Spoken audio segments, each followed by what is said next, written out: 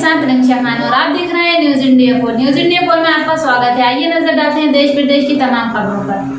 दवाड़ा ज़िले की तहसील चोरई में विगत दिनों किसानों की समस्याओं को लेकर हुए राजनीतिक आंदोलन में प्रशासन द्वारा कथित राजनीतिक नेता, कार्यकर्ता और पीड़ित किसान द्वारा अनुविभागीय अधिकारी के साथ की गई घटना।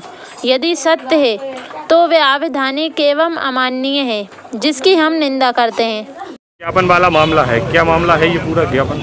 ये ज्ञापन छिंदवाड़ा की घटना को लेकर है जिसमें एक पक्षीय कार्रवाई रघुवंशी समाज के लोगों पर की गई है। हमारी प्रशासन से मांग है कि ये जो रासुका की कार्रवाई उन पर की गई है इसको तत्काल रद्द किया जाए और वो अफसर जो निरंकुश होकर किसी की नहीं सुन रहे हैं उन पर कार्रवाई की जाए।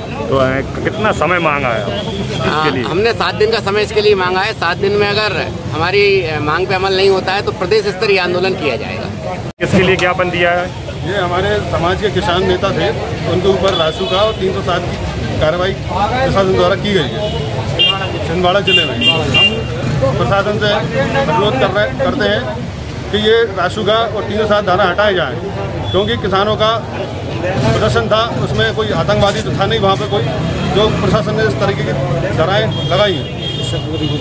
इससे हमारी समाज की छवि खराब हुई है और हम प्रशासन से अनुरोध करते हैं कि तीन सौ साल और राशु का दोनों धाराएँ हटाई जाएँ। तो कितने दिन का समय मांगा है आपने प्रशासन से? हमने प्रशासन से सात दिवस का समय मांगा है। लेकिन उपचुनाव में इसका रघुवंश समाज अति से अति विरोध करेगी। हमारे न्यूज़ इंडिया फोर चैनल की खबरें पसंद आए तो हमारे चैनल को लाइक करें शेयर करें और सब्सक्राइब करें।